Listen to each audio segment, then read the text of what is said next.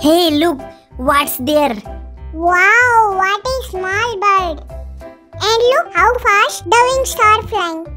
Hey, this is bee hummingbird, which is the smallest bird in the world. It's only found in Cuba. Its weight is less than 2 gram and it's about 5 centimeter in length. Such a small bird, isn't it? Yes. So small, cute bird.